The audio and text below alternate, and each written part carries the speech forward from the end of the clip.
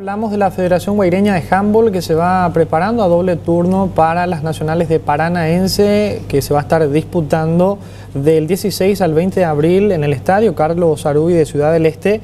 En esta edición número 38 del combinado albiceleste dirigido por Blas Pochi Garcete se entrena desde las 5 de la mañana con trabajos físicos, posteriormente realizan movilizaciones en horario vespertino con trabajos técnicos tácticos en el estadio Guapita. La última vez que Villarrica ganó unas nacionales fue hace 10 años, en el año 2014 cuando logró su estrella número 18 en la ciudad de Santaní.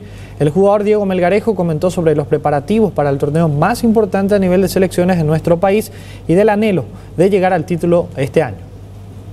Que ya entusiasmado de, que llegue el día, eh, los muchachos cada día más comprometidos, entrenando ahora de, desde ahora, o sea, desde la semana pasada digo bien a doble turno.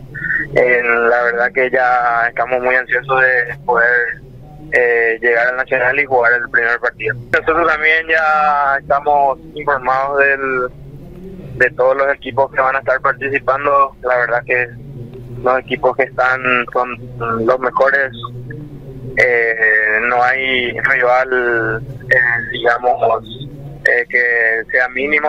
Todos jugamos de igual a igual y siempre el respeto, ¿verdad? Respetando siempre al rival que nos toque, vamos a tratar de hacer nosotros nuestro papel y ojalá se nos dé eh, los triunfos. Desde el año 2014, que fue el último torneo que se ganó, desde esa vez que se nos está negando un poco el título, ¿verdad? Este año queremos hacer un buen papel para tratar de, de lograr, de tratar de traer el campeonato, ¿verdad?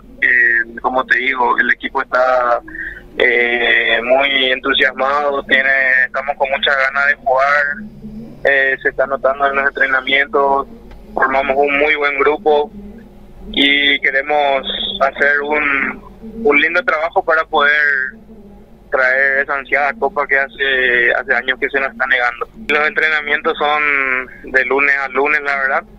Estamos entrenando entre semanas de lunes a viernes a doble turno y los fines de semana tratamos de hacer también un poco de táctico, pasado más con los compañeros que se acoplan, que vienen de la capital, ¿verdad?